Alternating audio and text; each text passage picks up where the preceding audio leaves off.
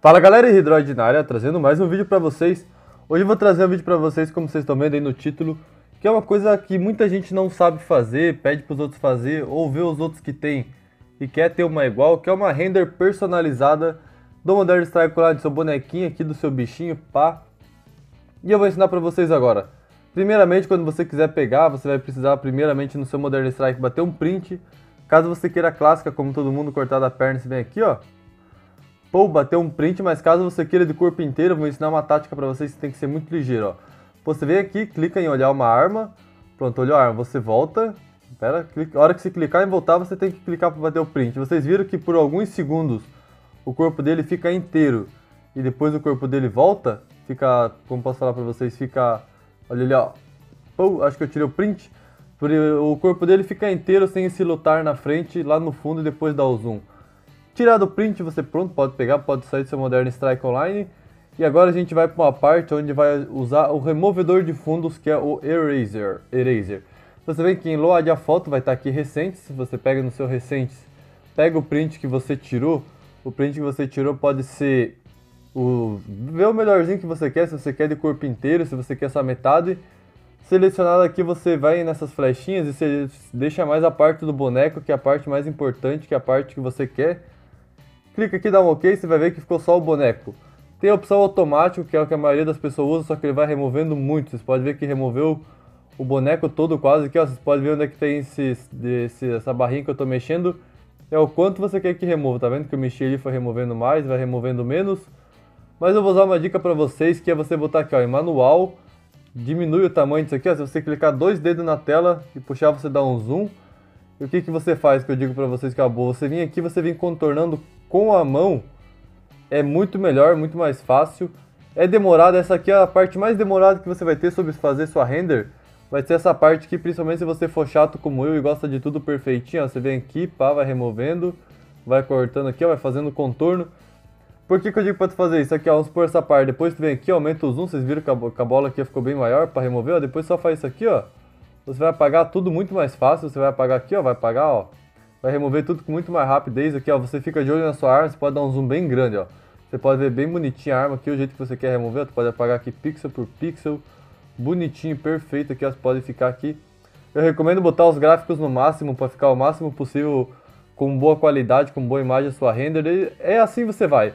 Você vai aqui, você remove o fundo todo do seu boneco aqui, ó, você faz todo o contorno dele, deixa ele da maneira que você quer deixa aqui com o capacete que você quiser, entendeu? Depois de salvo seu boneco, calma, deixa eu voltar aqui que eu apaguei o boneco. Depois de salvo, você vai lá onde é está escrito Doni, vai aparecer isso aqui. Assim você dá uma olhada, vamos supor, eu não tenho, né, mas você verifica, por exemplo, aqui se ficou tudo bonitinho, se não ficou, você apaga de novo e dá um save. Assim que estiver salvado, você vem aqui, Finish, eu usei só de exemplo, tá, mas assim que você remover tudo, agora a gente vai para outro aplicativo que se chama PS Touch. Antes que você me pergunte para baixar tudo isso, eu recomendo um canal muito bom para vocês, que se chama Han G3. Ele é o cara que fez a minha banner aí, o Han G3. Esse cara ele tem um canal muito top de design, ele ensina a fazer muitas coisas, ensina a fazer umas coisas muito doidas.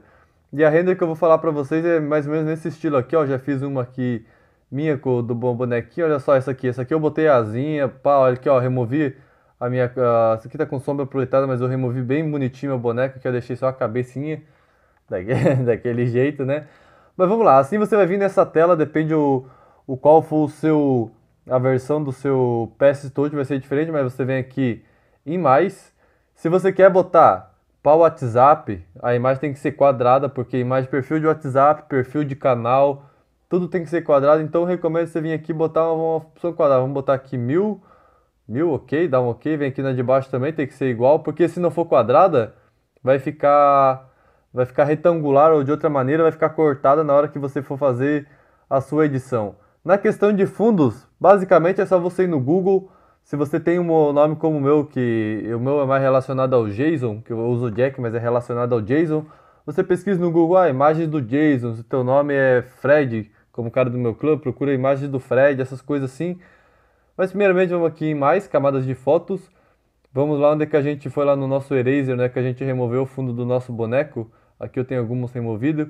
Pegamos o fundo do nosso boneco, damos um adicionar aqui. Vocês podem ver que aqui está o meu boneco como é que é, eu removi o fundo dele bonitinho aqui. Fiz certinho aqui, você regula o tamanho que você quiser, se você quiser botar ele pequeno, eu vou botar um pouco menor aqui. Aqui essa parte aqui é que envolve mais a sua criatividade agora. Aqui não existe um padrão, existe a sua criatividade. Vocês podem ver que ó, como eu removi bem bonitinho, não, não tá, opa, outra não tá tão bonitinha assim, mas tá bem bonitinho que tá bem removidinho aqui, pá, ficou mais perfeito que eu quis fazer. Não precisa ser tão perfeito, principalmente quando você for adicionar algum efeito e mais. Sempre que tu for adicionar alguma coisa, você clica aqui nesse maisinho aqui, em camadas de foto. E agora a gente vamos ali, vamos pegar o fundo que a gente quer. Vamos pegar aqui nos seus downloads, veja o fundo que você quer nos seus downloads. Aqui tem uma imagem que eu baixei do um cara deixou no link do RAM, até aqui ó, Instagram. Eu tenho muitas imagens, você pode botar as imagens que você quiser, é só você procurar, você baixar. Você quer uma asa? Como essa asa aqui, você vai lá e digita assim no Google, asas em ponto PNG. Por que PNG? PNG é sem fundos. Vamos botar essa asa aqui, ó, daí a gente centraliza aqui a asa. Caso você queira mexer, você sempre clica aqui ó, na camada do boneco e clica lá naquela cruzinha. Daí aqui ó, você pode mexer o seu boneco, pode centralizar ele, botar do tamanho que você quiser, você pode dar um zoom aqui. Pode botar do jeito que você quiser, do jeitinho melhorzinho, se você achar bonitinho. Pode aumentar o tamanho do seu boneco, se você acha que as asas estão tá muito pequena para ele, ou o boneco está muito grande para a asa. E se você quer mover a asa, você mexe na asa. Isso vai aleatório de cada pessoa, vai do seu gosto. Como eu disse para vocês aqui, o que importa é a criatividade, que é vamos centralizar a asa, pá. Tá bom assim, só para o nosso tutorialzinho. Não, vamos diminuir o boneco aqui, vamos fazer uma coisa um pouquinho mais bonita aqui, vamos diminuir o nosso boneco. Tenta deixar tudo o máximo propor proporcional ao seu boneco aqui. Pá, vamos dar um ok aqui. Ainda nós estamos no fundo, a gente clica lá de novo aqui, opções, camadas de foto. Agora vamos para o nosso fundo. Como eu disse para vocês, vocês escolham um fundo aleatoriamente que vocês quiserem da internet aqui. Eu tenho aqui vários fundos que eu uso, que eu vou testando aqui. Ó. Vamos, por exemplo, usar esse fundo aqui, vamos botar esse fundo. E daqui agora a gente vai aqui seleciona só a parte que a gente quer, vamos supor... Tem que ser toda, tá? Porque a imagem não vai ficar sumida. Deixa eu dar um aqui, vamos ver. Vou botar aqui, vamos aumentar aqui a imagem. Daí você aqui, sempre vai aumentando. Tem que ver se uma hora chega no limite. Para ficar bonitinho, perfeito aqui no quadrado. Ó. Pronto, selecionou aqui no quadrado. A gente pega ali... Opa, cliquei no risco, sai, fecha. Não é para diminuir não. Diminua, centraliza, centraliza, deixa bonitinho, perfeito. Damos um OK, vai cortar a imagem, tá? Ela vai ficar quadradinha do jeito que é para ser quando você der um OK ali, só centralizar bem centralizado.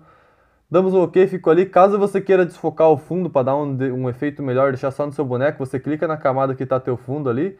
Essa aqui é meu fundo, clica lá em FX, vai estar ali em básico, desfoque gaussiano. Ao clicar aqui você controla seu desfoque. Se tu quer desfocar tudo, deixar só um fundo assim.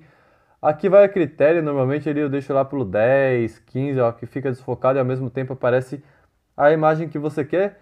E quando você quiser letras, fazer alguma letra, no canal do Hunter até o pack de letras e tudo, você vai no Photo Editor, que é um aplicativo aqui ó, chamado Editor de Fotos ou Photo Editor. Vamos lá, onde ele? Você vem aqui em mais, que é o novo ali, no novo. Aqui o tamanho tanto faz, desde que você clique aqui, bota a opacidade aqui no zero para ficar sem fundo. Dito clique aqui em mais, texto barra imagem, mais de novo, TT. É coisa simples, depois que você aprende aqui, você vai botar aqui um texto, vamos por tu, tu, tu, tu, tu, tu, tutorial, vamos botar aqui. E daí você vai ver lá, lá o Han vai ensinar muita coisa, você botar as fontes e tudo mais. Vamos escolher uma fonte aqui. Eu tenho as fontes dele, eu assisto muito o canal dele, gosto muito. Vamos for botar essa fonte aqui, tutorial. Ok, tutorial, ok. Aqui a gente salva, salva. Sempre que tu for salvar uma letra aqui, ó, cuida que vai vir aqui em JPEG, você clica lá em cima, ponto .png, lá tá PNG. Dá um salvado, ok, tutorial, salvo. Voltamos para cá. Caso você não esteja entendendo, veja o vídeo novamente, veja o vídeo devagar. É muito fácil, muito simples depois que você pega, é difícil no começo. E sempre que você salvar algo em ponto .png pelo Photo Editor, ou vai estar tá na pasta SD card ou na pasta zero. No caso, no meu está aqui na pasta zero. Clicamos aqui, você vai ver que está tutorial, aqui tu bota seu nome, seu nickname, bota o que você quiser aqui, de etc e tal. Clicou aqui, ó, tutorial, ok. Caso você queira botar efeitos, é sempre no FX, são os efeitos aqui, ó. Quero botar um brilho, digamos aqui, ó, pronto, ó, pá, ficou esse tutorial com esse brilho aqui. Caso você queira botar as camadas junto, você pode botar aqui a mesclar para baixo.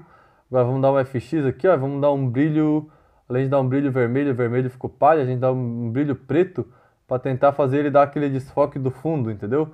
Para tentar dar aquele destaque. Você pode botar uma sombra projetada que é para onde só para onde você quer. Eu quero botar a sombra aqui pro lado. É uma coisa assim, para você aprender a fazer isso, você vai ter que ir com o tempo mexendo neles, você não vai aprender, ai meu Deus, já catei aprendendo, existe um tutorial 100% feito. Não existe, vocês podem ver aqui, ó, como você vê, remover o boneco é uma coisa muito chata, é uma coisa muito demorada. Aqui, ó, pegou aqui, ó, vocês podem ver, ó, já fiz aqui uma coisa bonitinha, não é a melhor das melhores coisas do mundo. É só botar o Nickel Jack da G-Monstro ali, eu podia ter botado. Podia, o meu boneco já tá removido, já tá com fundo. Asa selecionada bonitinha aqui, ó, vou deixar só meu boneco, olha só como é que o boneco ficou. O boneco não tá muito bem feito, a hora que você só pegar fazer um fundo bem feito, fazer um fundo bem bonito, olha só. É um boneco bonito, o modo do boneco feito aqui, ó, você clicou aqui, você clica em voltar lá em cima, vai aparecer salvar, aqui vai estar seu boneco.